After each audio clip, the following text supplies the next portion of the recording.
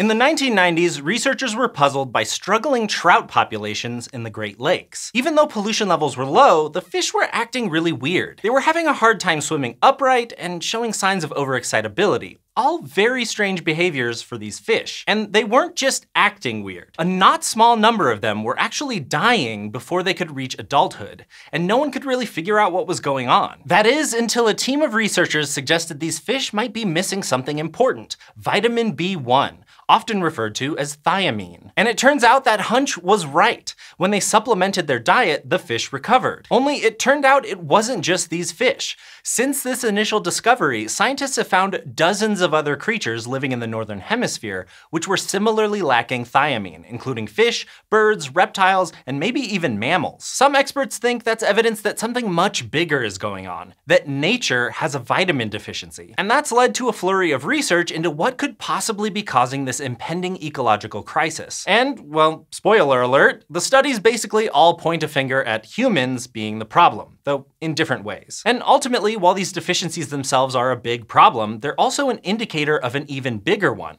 a planet under stress. Thankfully, now that scientists are aware of the potential crisis and have some solid ideas for what could be causing it, they can move forward with trying to alleviate it before it's too late. Now, if you've heard of thiamine before, it was probably because of a multivitamin or health supplement. That's because thiamine is an essential nutrient for all organisms, but we animals can't make it. Only plants and some fungi and microorganisms can. The rest of us have to get thiamine by eating those thiamine makers, or by eating something else that has. Basically, the vitamin slowly spreads up the food chain. Physiologically, thiamine is important because it helps your cells turn the food you eat into fuel that your body can use. It's involved in the chemical reactions that mitochondria use to generate energy for the cell. So without thiamine, an organism's cells are simply unable to turn food into cellular fuel. And a severe thiamine deficiency will eventually lead to illness and death because cells basically stop functioning. But what's especially awful about thiamine deficiencies is that even mild ones can have nasty effects, like strange behavioral issues, as scientists observed in the Great Lakes trout. That's because brain cells need a lot of cellular fuel, so they're extra sensitive to low thiamine levels. And these, quote, sublethal effects can vary widely, so it can be super hard to diagnose what's really happening, which makes it harder for people to act quickly,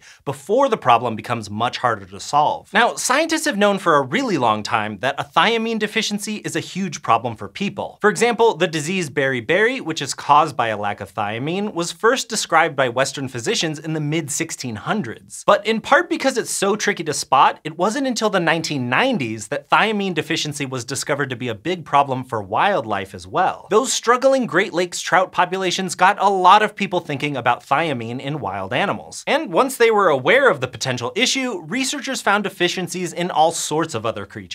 This included other underwater inhabitants like alligators and mussels, as well as land animals, including dozens of kinds of birds. Of course, when people lack thiamine, the usual fix is to change their diet or give them a supplement. Unfortunately, those don't really work for ecosystems. Even if we could figure out how to dole out a supplement, it would be like slapping a tiny band-aid on a gaping wound. So in order to devise a solid long-term solution, researchers need to get at the root cause for the deficiencies. And, well, it's kind of taking a while to figure that out because there are likely multiple things going on. For starters, in some areas, there seem to be shifts happening in those tiny critters that can make their own thiamine. For example, a study in 2012 of the Southern California Baja coast found that there was a lot more variability in B vitamins than other commonly found nutrients. The researchers think that's because climate change is messing with ocean circulation patterns, which in turn is altering the abundance of certain microbes. You see, researchers think that in the ocean, the microbes that make thiamine are often found in deeper waters, since that's where they get the parts they need to make it, like dead plankton. So the thiamine they make wouldn't get into shallow water unless they're dragged up from the depths, like in places where ocean currents move deeper waters to the surface. And that's where the system is starting to break down. As the Earth's atmosphere gets warmer, you know, thanks to us and all those greenhouse gases we keep producing,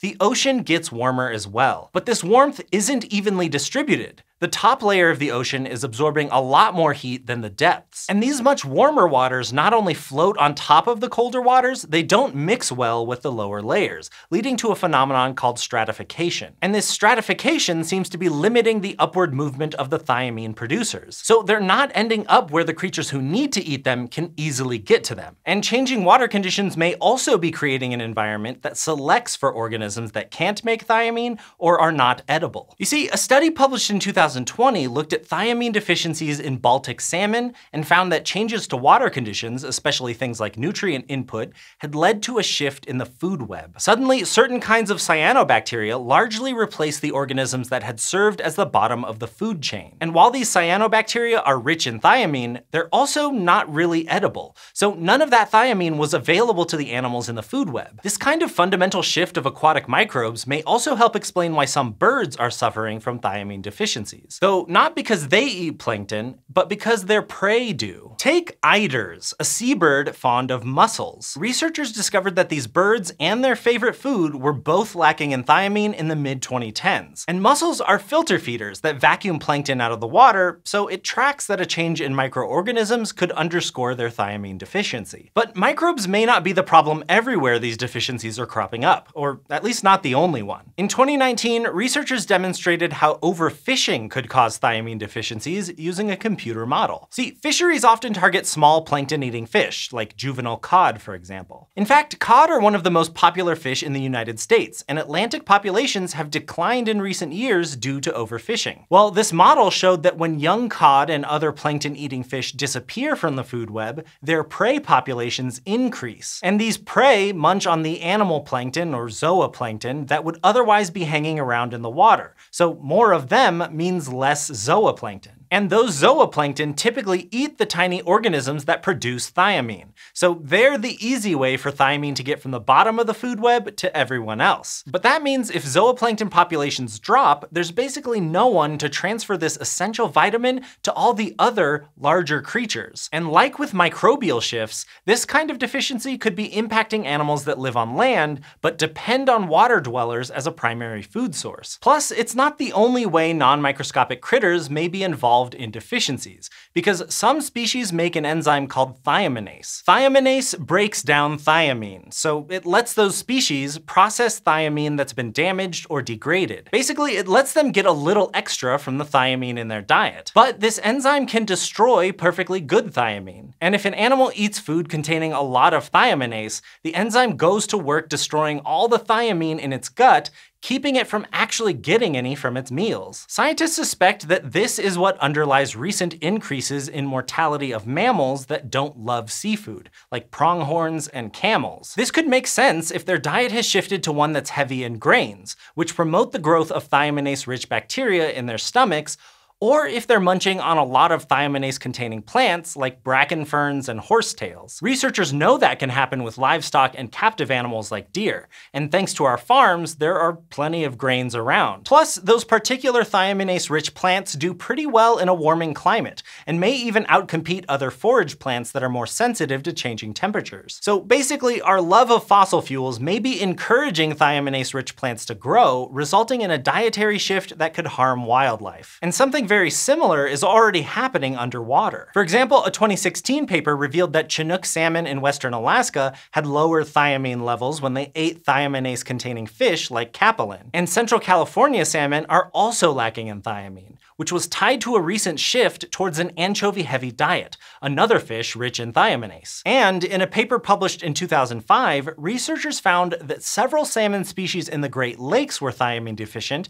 because they were eating too many thiaminase-rich alewife and rainbow smelt. And this is where it becomes really clear that no matter what case you're looking at, this is all ultimately our fault. You see, both alewife and rainbow smelt don't belong in the Great Lakes. They were introduced by humans. And even where where people aren't directly responsible for the presence of thiaminase-rich creatures, we're probably to blame for their sudden abundance. Like, we know the type of food available to Chinook salmon depends on the climate and how it affects the way the water moves into the Bering Sea. So all that CO2 we're spewing and its effect on global climate are directly impacting what these salmon can eat. And the same goes for the California salmon. Those anchovy populations exploded thanks to warmer water temperatures, which again is thanks to climate change. But the upside here is that we have the opportunity to fix what we've broken. The solution is probably not going to be a one size fits all type of thing, and yeah, curbing climate change is probably a big part of it. But there are other things we can do, especially at the local level. For example, in Lake Huron and Lake Michigan, the fish issue was managed by adding thiamine to the water in hatcheries. You see, for a while now, both trout and salmon have been artificially bred and released into these lakes to boost their natural populations.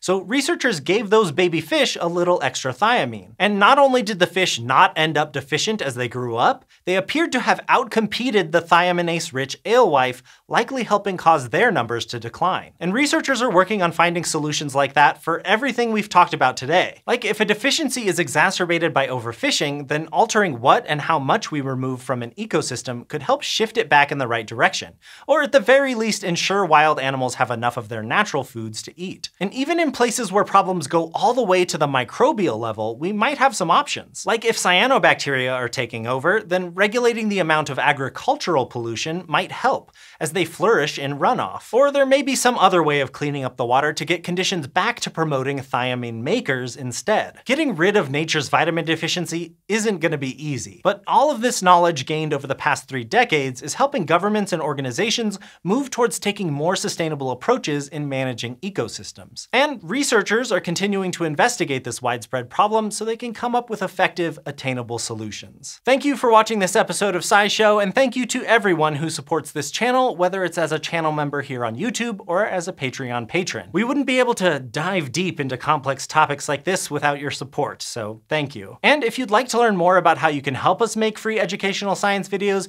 you can find our Patreon community at patreon.com slash scishow, or you can click the join button below the video to get all the info about becoming a channel member here on YouTube.